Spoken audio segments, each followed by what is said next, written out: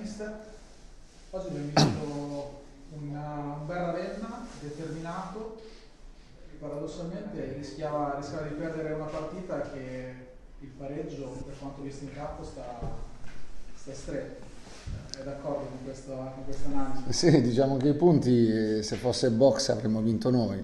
Mm, la sconfitta sarebbe stato un risultato ingiusto per quanto fatto dai ragazzi in campo, encomiabili.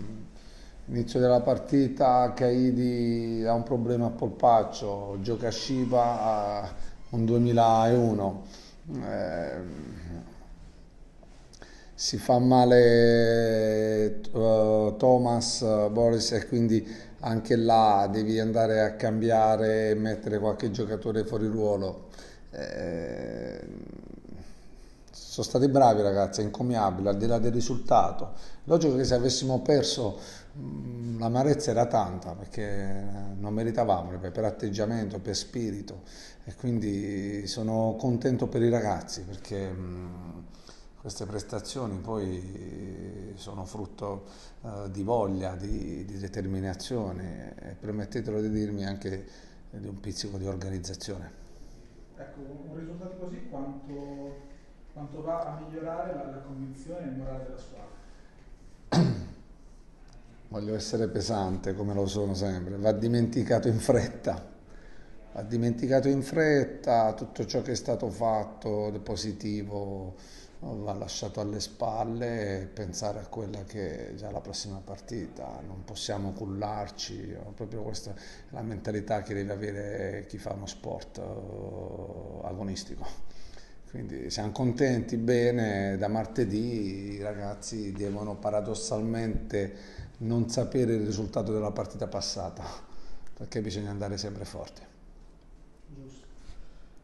Oggi, come, come stava accennando prima, ha avuto un problema con Caidi nel, nel riscaldamento, ha dovuto fare qualche improvvisazione per, per trovare dei, dei centrali da, da adattare in quel ruolo. Nonostante questo, nel primo tempo la Sambo non ha tirato in porta e anche nel secondo tempo la difesa è stata, è stata molto attenta.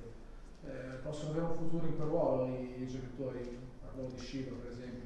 Sì, diciamo che noi è tipicamente italiano che se giochi 10 metri più avanti, 10 metri più dietro, più dentro al campo, cerchiamo sempre l'alibi, no? Eh, quindi eh, Zanoni per la prima volta credo ha fatto il terzo di sinistra e ha fatto una gran partita. Lo stesso Shiba è un terzino, ha fatto il terzo. Voglio dire, il campo e le misure sono le stesse, eh, sono i principi. I ragazzi devono capire che... Mm, il campo uguale dappertutto, eh. non è un discorso di 5 metri più avanti, quindi perché no, trovare giocatori eclettici è importante per l'allenatore eh, ed è giusto fare più ruoli.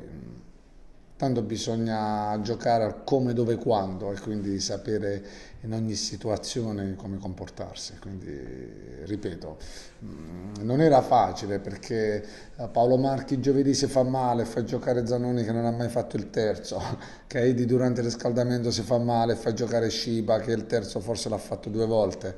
Eh, non era facile, poi con l'infortunio di Bronin poi devi, ca devi cambiare però avevo chiesto lo spirito ai ragazzi e loro hanno messo tutto in campo. Eh, però mh, mm, bisogna pensare alla prossima. Giusto. Pensando alla prossima, le faccio l'ultima domanda, se si ha già un'idea di cosa sia successo a Boris, perché l'abbiamo visto molto doloroso. no, non lo so, non lo so cosa, non ho parlato con il medico, quindi non lo so. Spero e mi auguro che non abbia niente per il ragazzo, eh, quindi lo spero per lui perché. Sì, sì, sì, sì, ma al di là di quello, anche se avesse fatto una brutta partita, no, mi auguro che non abbia niente, con tutto il cuore. Okay. Grazie mille, mister. Prego.